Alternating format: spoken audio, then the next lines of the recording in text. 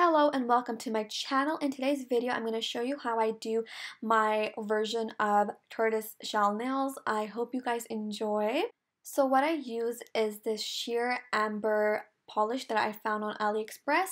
You can also customize this color and make it your own by using browns, yellows, and reds and making it sheer that way.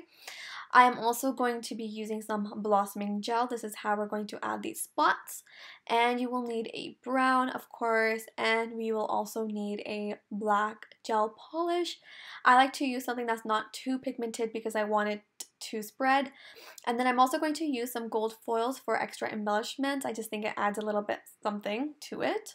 So I am going to start off by painting the Amber Sheer Polish. As you can see, it is the perfect color.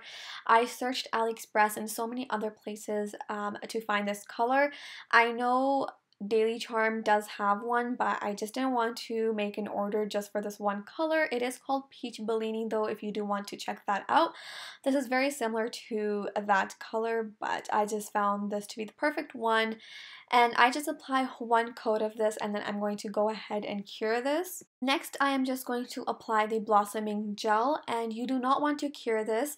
You want to add these spots in the uncured gel and this is just going to help the polishes blossom.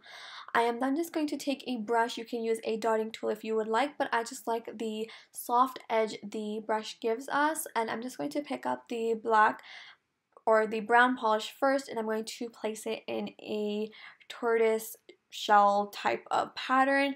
If you do not know what it looks like or if you want a reference, you can always search something off of Google and copy the pattern on there. But all I'm going to do is I'm going to grab the brown polish and place them in random spots where I want them and then I'm going to go ahead and grab the black polish later and I'm also going to just overlap them with that brown just to make sure that they spread nicely thank you